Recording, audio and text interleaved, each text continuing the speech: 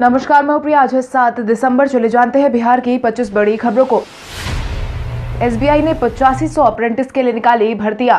State Bank of India ने पचासी सौ अप्रेंटिस भर्ती के लिए आवेदन की आखिरी तारीख 10 दिसंबर 2020 तय की है। अप्रेंटिसशिप के लिए आवेदन करने के इच्छुक उम्मीदवारों को सलाह दी गई है कि वे आखिरी तारीख से पहले आवेदन करें। भारतीय स्टेट बैंक ने पचासी सौ अप्रेंटिस प्रशिक्षकों को भर्ती के लिए 20 नवंबर 2020 की देश भर के विभिन्न जोन के लिए आवेदन प्रक्रिया शुरू करवा दी थी। एसबीआई अप्रेंटिस के लिए आवेदन एसबीआई की वेबसाइट sbi.co.in पर जाकर कर सकते हैं। एसबीआई अप्रेंटिसशिप भर्ती परीक्षा का आयोजन जनवरी 2021 में होने की उम्मीद जताई गई है।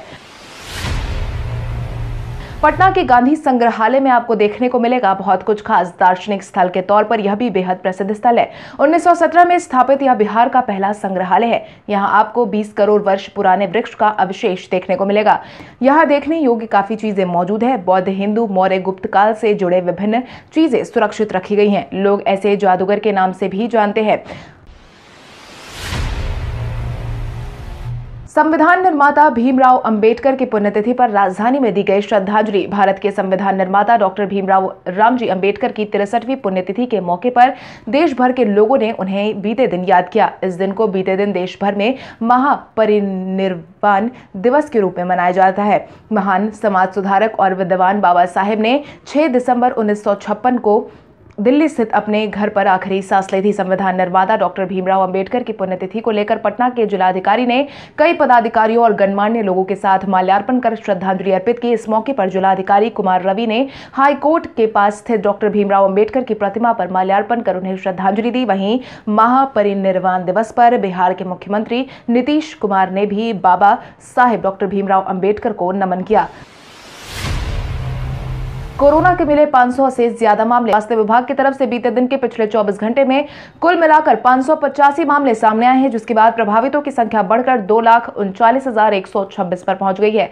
वहीं प्रभावित टॉप तीन जिलों की संख्या की बात करें तो पटना में दो सौ इकसठ मामले सामने आए हैं, मुजफ्फरपुर में सत्ताईस मामले सामने आए हैं, वहीं कटिहार में छब्बीस मामले सामने आए हैं। वहीं अब तक कुल मिलाकर दो लाख बत्तीस हज़ार चार सौ अड़तीस लोग ठीक हो चुके हैं। 9 दिसंबर के बाद बिहार में पड़ेगी कड़ाके की ठंड। बिहार में कड़ाके की ठंड पड़ने वाली है। मौसम वैज्ञानिकों की माने तो बिहार में 9 दिसंबर के बाद से बिहार में कड़ाके की ठंड पड़ने वाली है। पर्वतीय इलाकों में पश्चिमी विभोक्ष की वजह से बर्फबारी और बारिश की स्थिति बनी हुई है। अगले कुछ दिनों में पश्चिमी विभोक्ष का असर मैदानी इलाकों में दिखेगा। नौ दिसंबर से सूबे के अधिकतर शहरों का तापमान नीचे आएगा। बर्फीली हवाओं के प्रवाह की वजह से कनकनी बढ़ेगी और न्यूनतम पारा रात में सताएगा। कोल्ड डे और कोल्ड वेव की स्थिति भी बन सकती है। इस स्थिति से निजात मिलने और पश्चिमी विभोक्ष मोक्ष का प्रभाव पसरने के बाद सूबे में कड़ाके की ठंड पड़ने के आसार है। पटना आईआईटी के छात्र को मिला सैतालीस लाख का पैकेज। आईआईटी पटना में बीटेक के एक छात्र को DE Shaw India software private limited में सैतालीस लाख रुपए सालाना का पैकेज मिला है। दो पासिंग बैच के लिए आईआईटी पटना में चल रहे प्लेसमेंट सीज़न के लिए यह अब तक का सबसे अधिक घरेलू ऑफ़र है। इसके अलावा आईआईटी पटना से छह छात्रों को लाखों का पैकेज मिला है। सॉफ्टवेयर डेवलपमेंट इंजीनियर के रूप में अमेजोन से इकतीस लाख माइक्रोसॉफ्ट ने तैतालीस लाख रुपए का पैकेज एक बीटेक छात्र को ऑफ़र किया है। इसके साथ ही चार छात्रों छात्रों को कोऑर्डिनेशन इनोवेशन लाइव द्वारा तेईस दशमलव पाँच शून्य लाख रुपए का पैकेज ऑफ़र किया गया और तीन छात्रों को गेम्स क्राफ्ट द्वारा बत्तीस लाख का पैकेज ऑफ़र किया गया है। बिहार के आनंद कुमार जल्द दिखेंगे केबीसी में। बिहार के आनंद कुमार और सुपर थर्टी के संस्थापक जल्द ही केबीसी में नज़र आने वाले हैं। मिली जानकारी के अनुसार शो के इक्यावनवे और इकसठवे, इसके साथ साथ बासठवे एपिसोड में बतौर एक्सपर्ट प्रति भागियों की मदद करते दिखेंगे। मैथमेटिशियन आनंद कुमार 7 दिसंबर, यानी सोमवार को टेलीकास्ट होने वाले शो के इक्यावनवे एपिसोड के साथ साथ 21 और 22 दिसंबर को टेलीकास्ट होने वाले इकसठवे और बासठवे एपिसोड में भी नज़र आएँगे। आपकी जानकारी के लिए आपको बता दें, इससे पहले आनंद कुमार साल दो हज़ार सत्रह में बतौर प्रतिभागी शामिल होकर केबीसी में पच्चीस लाख रुपए जीत चुके थे। आज बिहारी पहचान में हम बात करेंगे प्रकाश झा की। प्रकाश झा चंपारण बिहार के रहने वाले हैं। प्रकाश झा का करियर शुरुआत में डॉक्यूमेंट्री अंडर द ब्लू से हुआ था। उसके बाद उन्होंने आठ वर्षों के लंबे अंतराल में कई डॉक्यूमेंट्रीज का निर्माण किया। इस दौरान उन्होंने बिहार के दंगों के ऊपर एक शॉर्ट फ़िल्म बनाई, जिसे रिलीज़ होने के कुछ दिन बाद ही बैन कर दिया गया, लेकिन प्रकाश को उस शॉर्ट फ़िल्म के लिए नेशनल अवार्ड से सम्मानित किया गया था। किसानों के समर्थन में 8 दिसंबर को बुलाए गए बंद का वाम दलों ने किया समर्थन। तीनों कृषि कानूनों की वापसी सहित सात सूत्री मांगों पर अखिल भारतीय किसान संघर्ष समन्वय समिति के आह्वान पर 8 दिसंबर के भारत बंद को वाम दलों ने समर्थन देने का निर्णय लिया है। CPI, CPM, Bhakpa Male, Forward Bloc और आरएसपी के राष्ट्रीय स्तर पर हुई बैठक के आलोक में शनिवार को इन पार्टियों के राज्य स्तर के नेताओं ने संयुक्त बयान जारी करके यह जानकारी दी है। आपको बता दें, अपनी विभिन्न मांगों को लेकर किसान कई दिनों से लगातार सड़कों पर उतरे हैं और कृषि कानून का विरोध करने में लगे हुए हैं। अफसरों की तरफ़ से ग्रामीण सड़कों की समीक्षा करने की कही गई बात। राज्य की एक लाख बीस हज़ार ग्रामीण सड़कों की वर्तमान स्थिति पर विभाग ने के अफसरों ने समीक्षा शुरू कर दी है, जिसके तहत ग्रामीण विकास मंत्री विजय चौधरी के पास अन्य चार विभागों की ज़िम्मेदारी भी है। मंत्रिमंडल विस्तार के बाद यह विभाग किसके पास होगा, यह फ़िलहाल तय नहीं है। हालाँकि इसके बावजूद विभाग के सचिव पंकज पाल लगातार योजनाओं की समीक्षा कर रहे हैं। ग्रामीण विकास विभाग द्वारा चलाई जा रही योजनाओं की मंत्री स्तर पर अभी समीक्षा शुरू नहीं हुई है। वहीं विजय कुमार चौधरी ने अपना बयान जारी करते हुए साफ़ कहा है कि अभी विभागों की विस्तार समीक्षा नहीं की गई है, लेकिन अधिकारियों से जो जानकारी प्राप्त हुई है, इससे स्पष्ट है कि राज्य में विकास के काम बिना रुकावट चल रहे हैं। बिहार यूपी से बंगाल के लिए शुरू होगी स्पेशल ट्रेनें नए साल से पहले इंडियन रेलवे ने बिहार, यूपी और बंगाल के यात्रियों को नया तोहफा दिया है, जिसके तहत रेलवे ने अपनी तरफ़ से 12 दिसंबर से सियालदह बलिया एक्सप्रेस चलाने का ऐलान कर दिया है। रेलवे के इस फैसले से लाखों यात्रियों को राहत मिली है। आपको बता दें, रेलवे ने कोविड नाइन्टीन के कारण मार्च से इन ट्रेनों को बंद कर रखा था। पूर्व मध्य रेल ने ट्वीट कर इस बात की जानकारी दी है और बताया है कि बारह दिसंबर से सियालदह स्टेशन से ट्रेन खुलने वाली है। इतना ही नहीं, रेलवे ने यह भी साफ़ किया है कि अगले आदेश तक यह ट्रेन इन रूटों पर चलाई जाएँगी। हालाँकि अभी साफ़ कहा गया है कि यात्रा के दौरान यात्रियों को कोविड 19 के प्रोटोकॉल का पालन करना होगा। जो भी नियम जारी किए गए हैं, वो यात्रा के लिए ज़रूरी है और उसी का पालन करना अनिवार्य होगा। पटना को वायु प्रदूषण से निजात दिलवाने की पहल हुई शुरू। राजधानी पटना की हवा में राजधानी वासियों की नाक में दम कर रखा है। वहीं अब पटना की आबो हवा को फिर से साफ़ करने के लिए प्रशासन ने अपनी तरफ़ से पहल शुरू कर दी है। मिली जानकारी के अनुसार नए साल में राजधानी की सड़कों पर पचास नई सीएनजी बसों का परिचालन शुरू होगा। इन बसों के लिए टेंडर का काम फरवरी, मार्च तक पूरा कर लिया जाएगा। इसके बाद नई बसों को अप्रैल तक सड़कों पर उतार दिया जाएगा। परिवहन निगम इस दिशा में तेज़ी से काम शुरू कर चुका है। फ़िलहाल राजधानी की सड़कों पर बीस सीएनजी बसों का परिचालन संचालन होगा। यह पुरानी डीजल बसें थी जिन्हें सीएनजी में कन्वर्ट किया गया था। आपको बता दें, नए साल में आने वाली बसें नई होंगी और सीएनजी से ही चलेंगी। मुख्यमंत्री नीतीश कुमार ने दलित आबादी वाले गाँव को आदर्श बनाने का किया ऐलान। बिहार के मुख्यमंत्री नीतीश कुमार की सरकार अब पिछड़े और दलित बाहुल्य गाँव को संवारने का काम करने वाली है, जिसके तहत ऐसे सभी गाँव को आदर्श गाँव बनाने की तैयारी शुरू है। इसके लिए कुछ पैमाने भी तय कर दिए गए हैं, जिसके तहत प्रत्येक गाँव को इंटरनेट से जोड़ने की सुविधा बहाल करवाई जाएगी।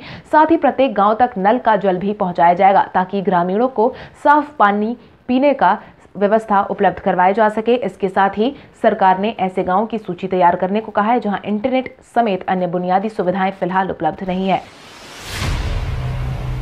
बिहार पुलिस कांस्टेबल भर्ती के लिए आज से शुरू होगा फ़िज़िकल टेस्ट। बिहार पुलिस में कांस्टेबल बनने के लिए आज से फ़िज़िकल टेस्ट की शुरुआत होने वाली है। पटना हाई स्कूल में आयोजित होने वाले फ़िज़िकल टेस्ट के पहले की पूरी तैयारी की जा चुकी है। पटना हाई स्कूल में रजिस्ट्रेशन के साथ दूसरे काउंटर की व्यवस्था भी करवा दी गई है। आज फ़िज़िकल टेस्ट का पहला दिन है, लिहाजा आज का दिन अहम माना जा रहा है। केंद्रीय चयन परिषद की तरफ़ से आयोजित यह फ़िज़िकल टेस्ट आज से शुरू होने वाला है, जो कि 30 जनवरी तक जारी रहेगा। आपको बता दें कोविड नाइन्टीन के कारण अधिकतम चार सौ अभ्यर्थियों को ही बुलाया गया है। उपेंद्र कुशवाहा और मुख्यमंत्री नीतीश कुमार के बीच नहीं बनी बात। बिहार चुनाव में पटखनी खाने के बाद नीतीश कुमार से मिलने पहुँचे उपेंद्र कुशवाहा की मुलाकात के बाद कयासों के बाज़ार गर्म हो गए थे। हालाँकि इन दोनों के बीच किसी तरह की बात नहीं बनी। इसका अंदाज़ा उपेंद्र कुशवाहा की बात से ही लगाया जा सकता है। हाल ही में इस मुलाकात के बाद उपेंद्र कुशवाहा ने अपनी सफ़ाई पेश करते हुए साफ़ तौर पर कहा है कि मुलाकात में कोई सियासी बात नहीं बनी है। ज़ाहिर है नीतीश कुमार उपेंद्र कुशवाहा के बीच अभी सियासी डील फाइनल नहीं हुई है, जिसके बाद उपेंद्र कुशवाहा ने अपनी पार्टी के जदयू में विलय होने की संभावना संभावना से इनकार कर दिया है। आपको बता दें, उपेंद्र कुशवाहा ने बेगूसराय पहुंचकर बीते दिन कहा कि उनके मुख्यमंत्री नीतीश कुमार से मुलाकात हुई है, लेकिन मुलाकात का कोई सियासी मतलब नहीं है। बिहार में मंडी कानून में हुए बदलाव का विरोध करने उतरेगी कांग्रेस। कृषि कानून के विरोध में कांग्रेस भी अब मैदान में उतरने वाली है और यही कारण है कि कांग्रेस लगातार किसान की तरफ़ से किए जा रहे विरोध का समर्थन कर रही है। हालाँकि अभी यह विरोध बिहार की सड़कों पर भी देखने को मिलने वाला है, जिसके लिए बिहार की विपक्षी पार्टियाँ सक्रिय हो चुकी है। बिहार प्रदेश कांग्रेस किसान प्रकोष्ठ ने इसको लेकर बैठक भी की है। इस बैठक में पार्टी के राष्ट्रीय महासचिव और वरिष्ठ नेता तारिक अनवर भी शामिल हुए थे। इस दौरान उन्होंने कहा कि कांग्रेस बिहार में हुए मंडी बदलाव नियम का विरोध करेगी। उन्होंने उन्होंने यह भी कहा कि जब नीतीश सरकार ने 2006 में राज्य में मंडी कानून में बदलाव किया था, तब कांग्रेस ने विरोध और आंदोलन न करके बड़ी गलती की थी। लेकिन अब इस गलती को सुधारते हुए बिहार के किसानों की बदहाली को दूर करने के लिए कांग्रेस भी अब सड़कों पर उतरने वाली है। दोस्त की शादी में पहुँचे विधायक जी बन गए ड्राइवर। बिहार के मखदुमपुर के राजद विधायक सतीश कुमार दास के विधायकी छोड़कर ड्राइवर के रूप में बीते दिन नज़र आए। विधायक जी बारात में तो शामिल हुए ही, उन्होंने दूल्हे की गाड़ी भी चलाई और गाड़ी को चलाकर लड़की के घर तक पहुँचाया। हालाँकि विधायक के इस नए अवतार को लोग देखते ही रह गए। आपको बता दें, विधायक जी अपने मिथिलेश नामक दोस्त की शादी में शिरकत होने पहुँचे थे। वहीं अपने दोस्त के इस रवैये को देखकर मिथिलेश भी काफ़ी गदगद नज़र आए। लोजपा ने रामविलास पासवान को भारत रत्न देने की कही बात। भारत रत्न संविधान निर्माता बाबा साहेब अंबेडकर की पुण्यतिथि पर लोजपा ने अपने पार्टी के संस्थापक रामविलास पासवान को भी भारत रत्न देने की मांग की है। लोजपा के प्रदेश मीडिया प्रभारी कृष्ण सिंह कल्लू ने राष्ट्रपति रामनाथ कोविंद और प्रधानमंत्री नरेंद्र मोदी से आग्रह किया है कि लोजपा संस्थापक और दलितों के मसीहा माने जाने वाले स्वर्गीय रामविलास पासवान को भारत रत्न से सम्मानित किया जाए। दूसरी तरफ़ लोजपा के संस्थापक रामविलास पासवान के छोटे भाई पशुपति कुमार पारस ने दावा किया है कि पार्टी के सभी सांसद राष्ट्रीय अध्यक्ष चिराग पासवान के नेतृत्व में एकजुट है। आपको बता दें, कुछ दिनों पहले लोजपा अध्यक्ष के इस्तीफे की मांग पार्टी के अंदर से उठने लगी थी। किसानों के समर्थन में प्रदर्शन पर मामला दर्ज होने पर भड़के तेजस्वी। गांधी मैदान के गेट नंबर चार पर किसानों का समर्थन करने विरोध में उतरी राजद की मुश्किलें बढ़ गई हैं, क्योंकि बीते दिन पटना में उनके खिलाफ मामला दर्ज करवा दिया गया है, जिस पर तेजस्वी यादव की बौखलाहट साफ़ तौर पर देखने को मिल रही है और यही कारण है कि तेजस्वी यादव ने बौखलाहट में अपना बयान जारी किया है, जिसके तहत उन्होंने कहा कि डरपोक और बंधक मुख्यमंत्री की अगुवाई में चल रही बिहार की कायर और निकम्मी सरकार ने किसानों के पक्ष में आवाज़ उठाने के लिए हम पर मामला दर्ज किया है। दम है तो हमें हिरासत में लेकर दिखाओ। अगर नहीं करोगे तो इंतज़ार बाद खुद आकर सरेंडर कर देंगे। किसानों के लिए एफआईआर क्या? अगर लटकाना भी हो तो भी हम तैयार हैं। पप्पू यादव ने किसानों के समर्थन में अनिश्चितकालीन विरोध करने की कही बात। जन अधिकार पार्टी के प्रमुख पप्पू यादव ने किसान विरोध का समर्थन किया है, जिसके तहत उन्होंने किसानों का हितैषी बताए गए बिल को लेकर विरोध ज़ाहिर किया है। आपको बता दें, उन्होंने कहा है कि केंद्र सरकार की तरफ़ से जारी किए गए किसान बिल किसान विरोधी है। केंद्र सरकार को यह कानून वापस लेना ही होगा। अगर कृषि बिल को नहीं रद्द किया गया तो जन अधिकार पार्टी किसानों के हित के लिए अनिश्चितकालीन समय के लिए विरोध करेगी और यह तब तक जारी रहेगा जब तक केंद्र सरकार कानून को वापस नहीं ले लेती। इसके साथ ही हमारी यह भी मांग है कि सरकार अब किसानों से अठारह सौ प्रति क्विंटल के हिसाब से धान की खरीदारी करे। भारत के इतिहास में आज की तारीख कई कारणों से दर्ज। भारत के इतिहास में आज की तारीख कई कारणों से दर्ज है।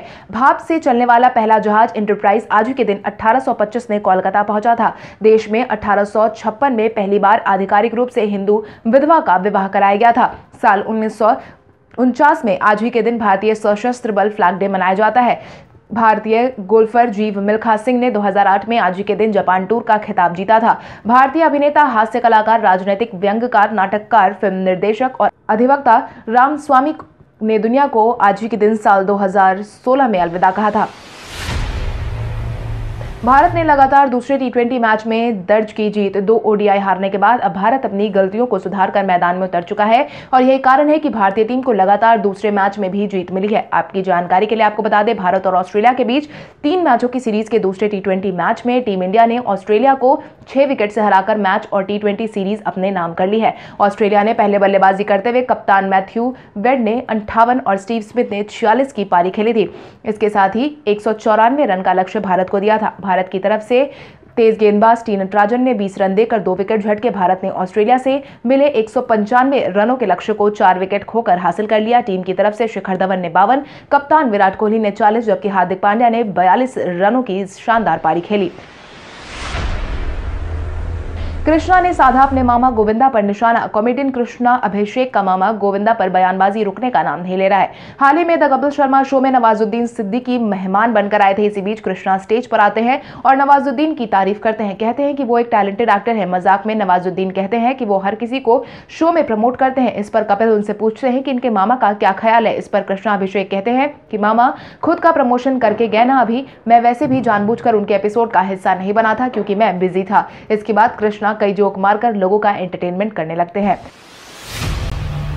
अपने सभी यूज़र के लिए व्हाट्सएप जल्द ही एक नया फीचर लेकर आ रहा है। व्हाट्सएप लगभग हर महीने अपने फीचर्स में अपडेट करता रहा है। इसी कड़ी में व्हाट्सएप जल्द ही डेस्कटॉप और लैपटॉप पर वॉइस और वीडियो कॉलिंग फीचर लाने जा रहा है। द गार्डियंस एलेक्स हेरन के ट्वीट के मुताबिक इस फीचर की अभी बीटा स्टेज में टेस्टिंग जारी है। यह फीचर अभी व्हाट्सएप पर मौजूद नहीं है। आपको बता दें, अभी व्हाट्सएप पर ऑडियो और वीडियो कॉल की सुविधा सिर्फ़ स्मार्टफ़ोन से ही मुमकिन है। व्हाट्सएप ने सिलेक्टेड यूज़र को ये फीचर टेस्ट करने के लिए भेजा है। एक नए व्हाट्सएप बीटा वर्जन में नए फीचर का इस्तेमाल करते हुए दिखाया गया है।